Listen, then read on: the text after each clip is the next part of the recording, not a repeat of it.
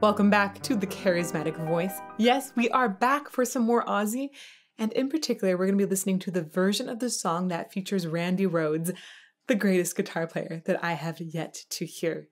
I want to give a shout out to our subscribers who recommended and thumbs up this song in the comments of our last Ozzy video. It was the most recommended, so let's get to it.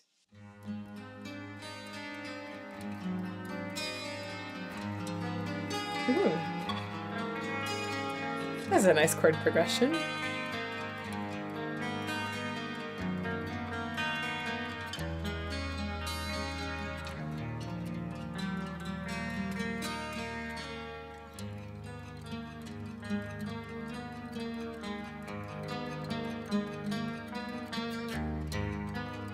Bro. I was thinking, hey, this is just an album cover, and then there was some sort of animation in there that, that caught me off guard. Uh, this is such a cool intro. The chord progression almost feels like it's weaving and going unexpected directions. It doesn't really resolve the way I expect it to, and it, it definitely goes through a lot of different chords on the way there. It's uh, yeah, it's really cool. So I'm gonna go back again.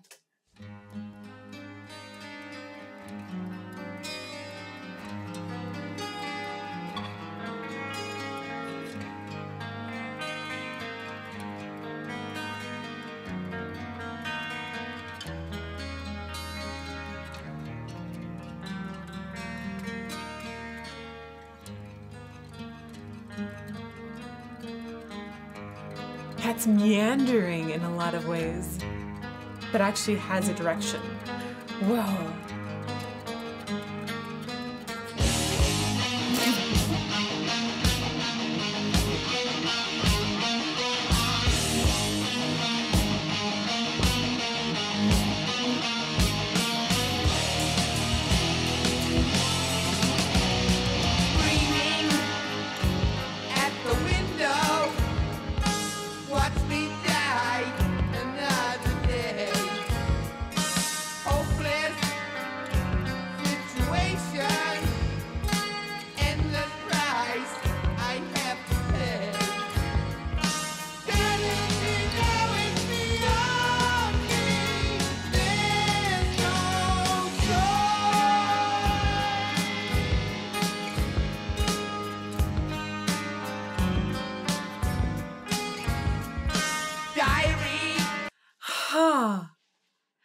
There, there are definitely some interesting things happening in the time signatures here.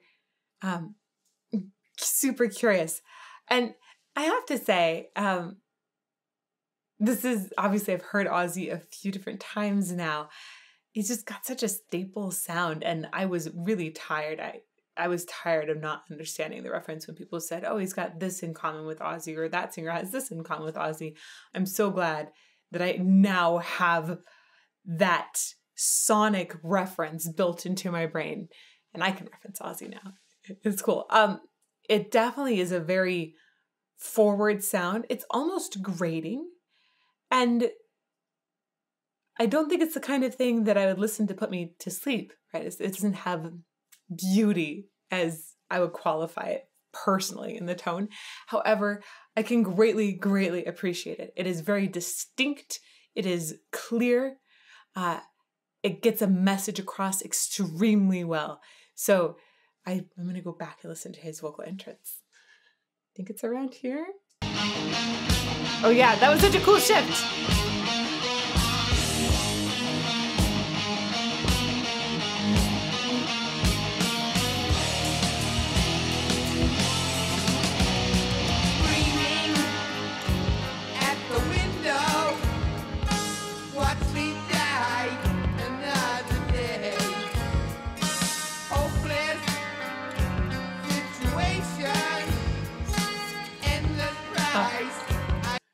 Think this is in 7 8. this time signature was driving me crazy. And I think that's partly also because they've split up the subdivision of the 7 8. So it has essentially different groupings of four and three. I think we have one, two, three, four, one, two, three, one, two, three, or maybe it's four first. Anyway, obviously it's driving me crazy, but there's a seven, eight time signature underneath. I'll try and count it out.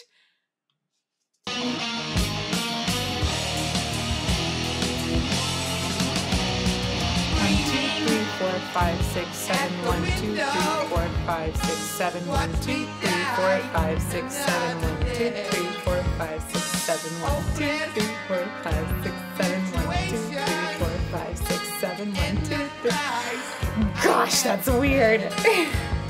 that's weird and disjointed. Ugh, that that goes with the whole madman thing. Who would write a song in seven eight? It, it happens sometimes, and it's really cool when it does. But man, it is just not one of those time signatures that I feel like I can bob my head to. It doesn't have the regularity of it that a lot of other time signatures have built in. So it feels disjointed, perfect for the diary of a madman. Screaming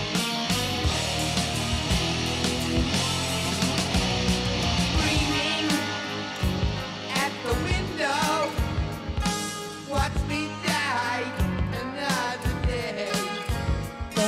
Hopeless situation. Endless price I have to pay. So Ozzy's vocal production to me sounds like it's extremely forward. Um, it's almost the antithesis of operatic production. A lot of times, operatic production is all about loft, and um, there was a big split at one point when they started talking about like more forward singing that was more of a pop trend at one point, and then that a lot of other styles sort of evolved from that as well. Anyhow, it's very, very forward. Like if I were to take um, like a a metal plate and just put it across my hands. It would go basically through my nose. It's got a lot of nasality in it. And it's all just focused in this part, very forward of the face, without much openness in the back of the laryngeal area, in the back of the pharynx, essentially. So um, I'm going to keep going, but if you can, try and mimic the sound that he's making and notice if you feel it in a similar area. When we talk about a sound being somewhere, we're talking about sort of the resonance where it hangs out uh, within the vocal tract on the way out, where that resonance is happening. And sometimes you can feel little buzzy spots in common if you're trying to make a similar sound to someone else. So look for that sort of sympathetic vibration if you're trying to sing along with him.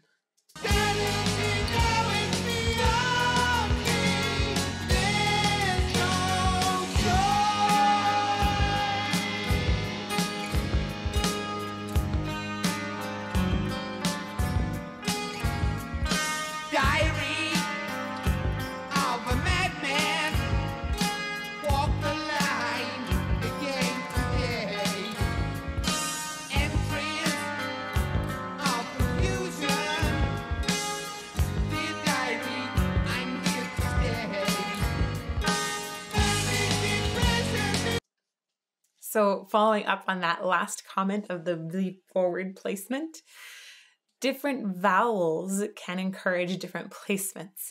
So, an E vowel is going to be your most forward E, right? If you if you go go E and almost try and sound like a wicked witch, that's going to be your crazy forward placement. It's hard to get that same kind of witchy feel and bright forward sensation if you do an oo vowel, for example, woo, or even o, which would be even further back and dark. Oh, right. That O's are naturally going to have a lot more space back here. Uh, and these things are all influenced a lot by um, the shape of your tongue and essentially how it propels the sound waves in your mouth. So uh, if you're still looking for that feeling in common with Ozzy, try singing along all on an E vowel.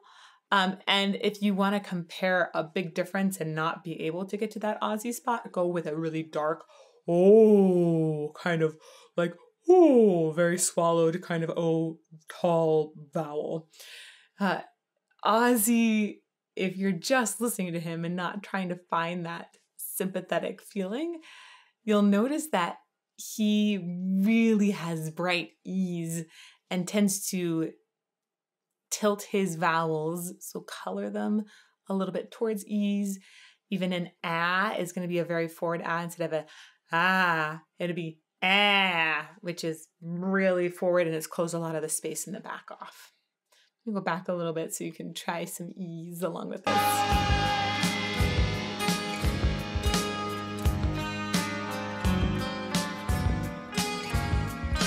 Diary Wee. Of a the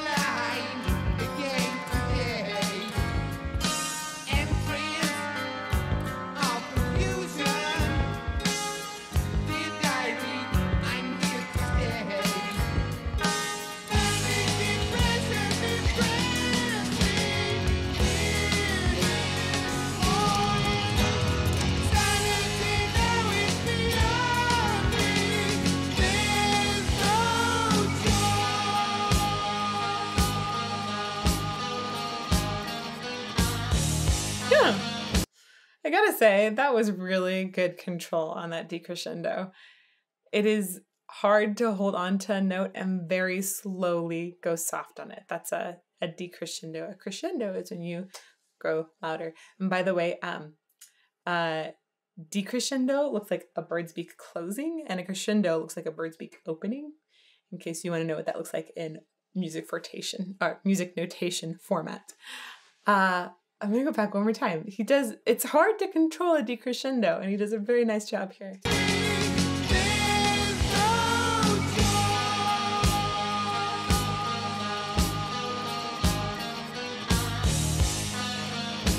A lot of times when people are working on decrescendos, they will waver on pitch. Um, it's natural for when you get louder for pitch to raise a little bit, and then when you get softer for a pitch to fall a little bit. And that has to do with the air pressure underneath here and having to essentially regulate and compensate for differences in air pressure as You change your volume. So just listen to Z crescendo one more time and notice that he's not going flat on it as it goes on.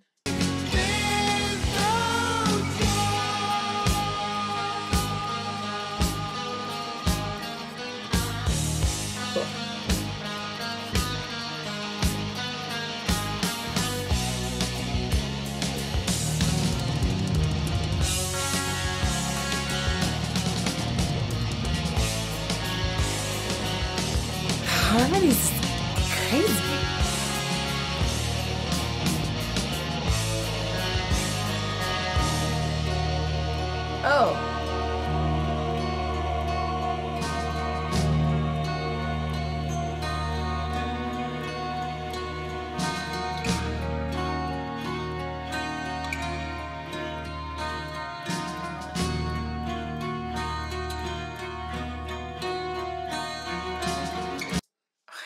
This is so cool how they're bringing in some classical instruments in here as well with the strings. But I want to go back because there are some very interesting things.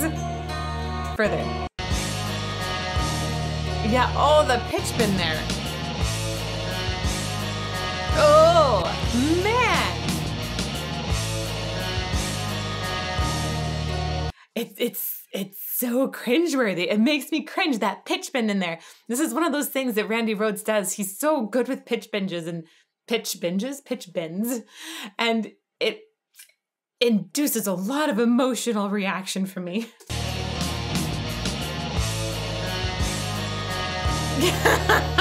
Oh.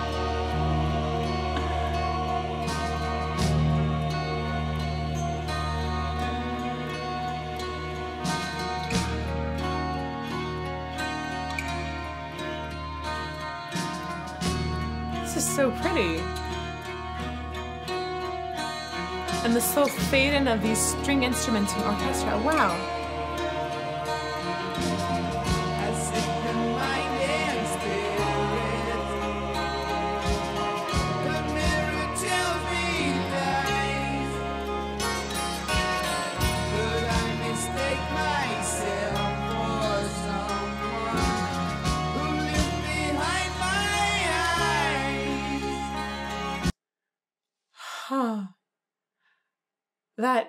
This section is haunting and I think that really is going with the lyrics here we have these choir oohs and ahs that are in there, and it feels almost like we've gone into some sort of cathedralish space with the the verb and how it's shifted. Um, and then it asks, uh, could I mistake myself for someone who lived behind my eyes?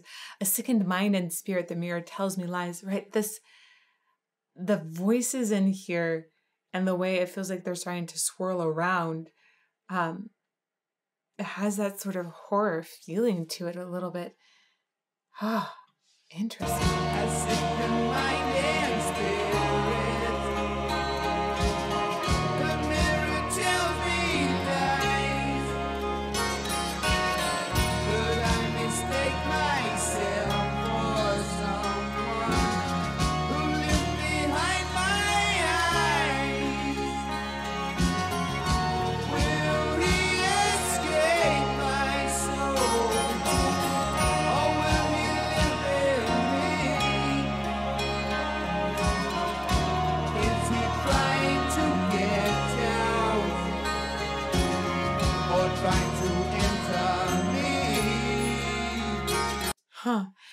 This whole section, it feels like there's a swirling of sounds around, and there's a surround sound um, thing that's happening with the voices being a little more panned out to the sides, and Ozzy's voice is dead in the center.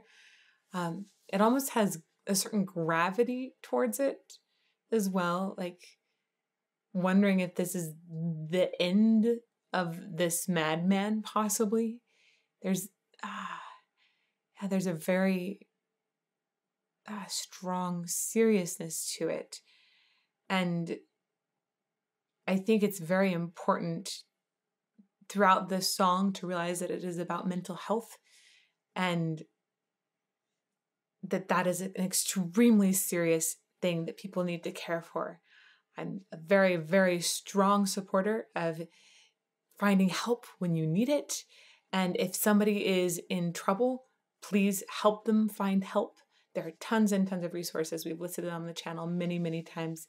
Um, and in addition, it's important, I think, to just build your mental health up. Even if you're in a great place already, there are all kinds of tips and tricks you can learn um, just to take care of yourself. So um, please, everybody, take very good care of yourself. The swirling gravitas within the instruments and voices here um, remind me of times that I've had that were really dark in life and feel confused and felt like almost like I was trapped inside my own brain. So I greatly appreciate that they're able to capture that feeling in this music. Let's go back a little bit.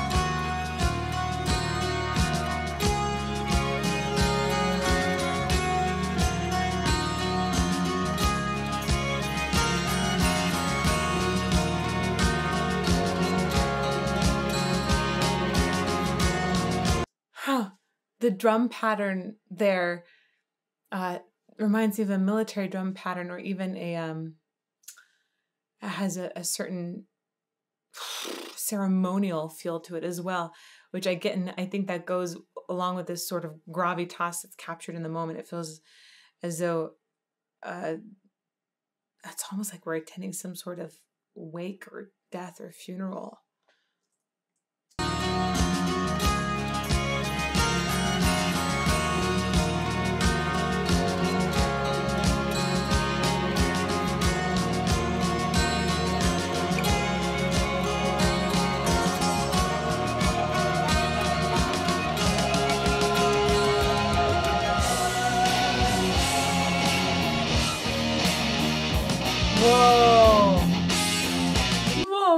Such a brilliant transition.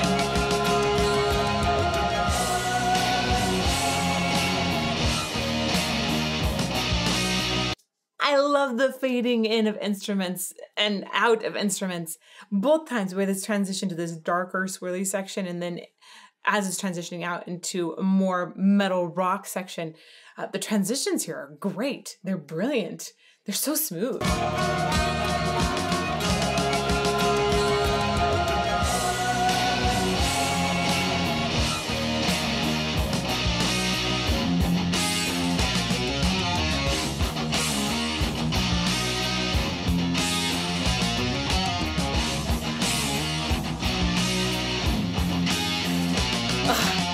So catchy.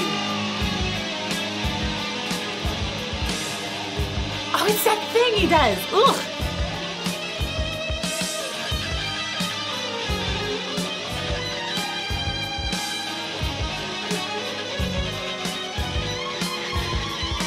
Voices. Dang, he is so good.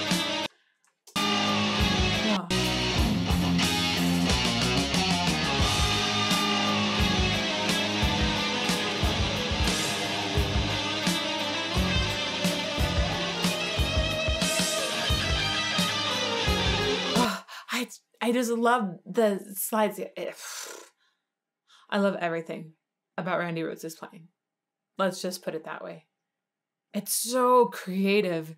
I like the way he does slides, the pitch choices, um, the phrasing choices, the way they tumble over often in unexpected directions, and at the same time, it, it really plays with emotions as well. Oh, it's really, really good.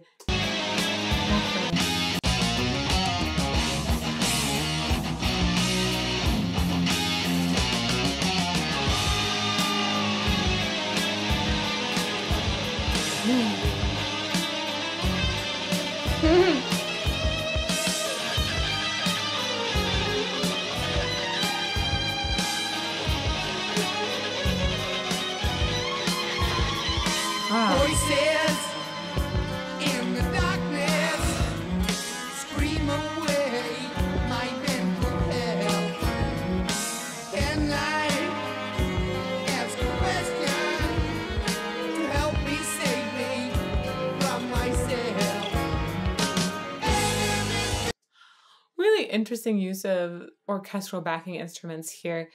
Um, I can hear them moving from different parts of the headphones, and um, it's almost like that swirl has continued using those instruments, and by placing them in different uh, areas of the headphones, we're essentially saying, you know, it almost feels like the madman is dealing with schizophrenia.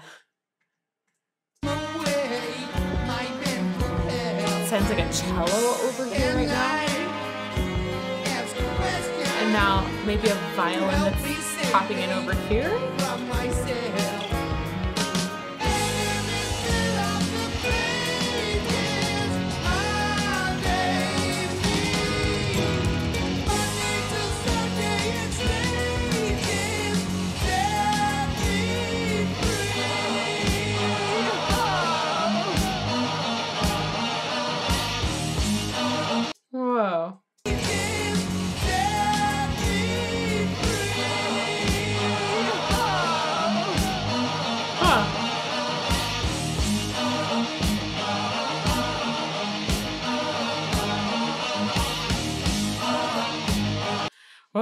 So I like the way he has a little holler at the end of free, uh, gives that tormented feel a little bit more.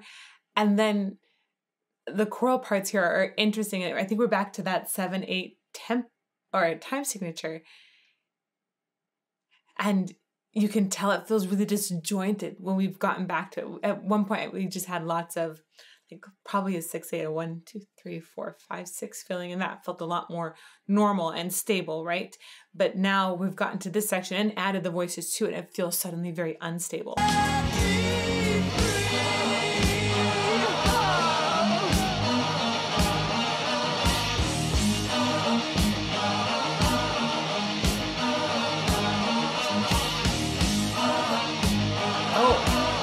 Sure we're really in seven, eight. I think we might have just added like a little, a couple extra beats in there.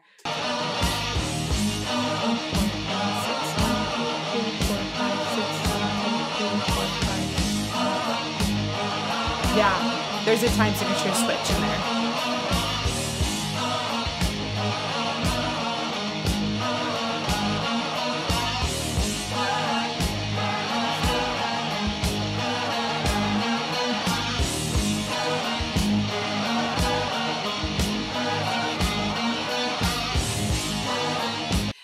My hunch, I think probably how they wrote it is that they did a five eight measure with uh, a six eight measures on either sides, which is why it suddenly feels totally disjunct. Very interesting how they've played with time signatures in here, and very very appropriate once again for that madman feel.